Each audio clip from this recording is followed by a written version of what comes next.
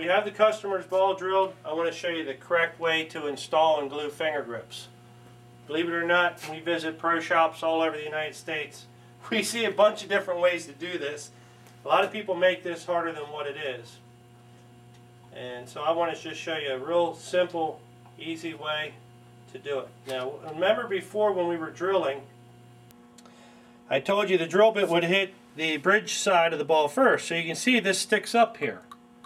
And that causes a lot of problems for people out in the field for some reason. I want to show you a neat way to do this.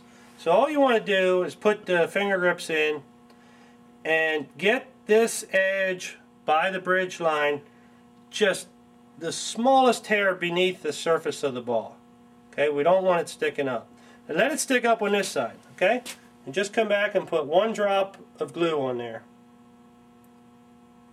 One drop. Push that down, just let that set. Just let it set a second. Come around to this side, and we have the bridge side of the grip just below the surface of the ball. I just pull it back, and I'm going to put just a little drop right there. Just a little bit. That's all you need. Just give that a moment to set up. If you want to apply a little pressure, you can. Okay, because why we want that tight is because we're going to come around now that I know that that's holding over here. I'm going to come back and I'm going to push with my thumb. I'm going to push this side down and make it flush. Now that that's flush, I'm going to take my index finger in my left hand, pull back, and I'm going to put a drop in the front. Okay? Just like that. Then I'm going to come over here and put a drop right there, just like that. Now that grip is sitting below the surface of the ball all the way around.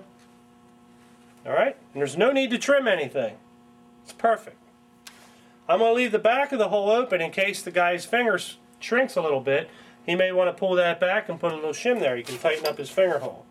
So by now this side has had a chance to uh, dry up a little bit. So again, I'm going to leave the back open, but it allows me to push with my thumb, push this down just below the surface of the ball. I'm going to hold that. I'm going to pull it back. Put a drop of glue right on inside there. And just hold her down below the surface of the ball just a little bit. And give that a moment to set up. I usually use crazy glue. This is this takes about 15 seconds to set up. I like the instant stuff a little better. That's just me, but this is what we had available. Okay? And now we're glued on three sides. That'll never come out. No need to trim anything. You don't have to use acetone. It's done. And it has the perfect shape of the grip that the manufacturer intended.